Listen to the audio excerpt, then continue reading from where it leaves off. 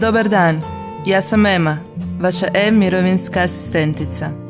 Iako sam ja tek nedavno stigla, informatika u Hrvatskom zavodu za mirovinsko osiguranje obilježava već više od 50 godina postojanja i to od 1968. kada je nabavljen prvi informatički sustav za podršku poslovnom sustavu.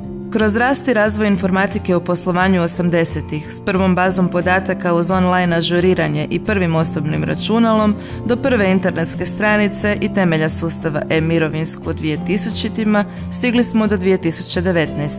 kada nastojimo i dalje pratiti suvremene trendove, a u odgovornom pružanju optimalne usluge našim korisnicima beskompromisno želimo pomoć samovrsnih stručnjaka.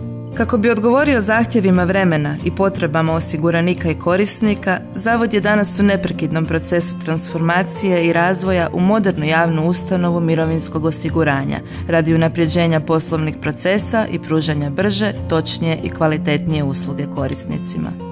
Pokrenut je čitav niz projekata radi povećanja tehnoloških, organizacijskih i kadrovskih kapaciteta zavoda, a korištenje suvremenih informacijsko-komunikacijskih tehnologija okosnica je tog razvoja. Stoga želimo dodatno pojačati naš informatički tim mladim i ambicioznim arhitektima sustava, IT analitičarima, programerima, sistemskim administratorima, testerima i sistemskim inženjerima.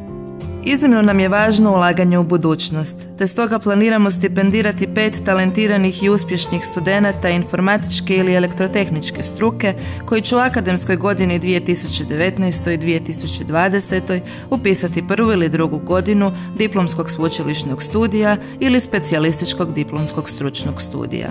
Za sve dodatne informacije obratite nam se e-mailom na ljudski.potencijali.mirovinsko.hr Vidimo se u Mirovinskom.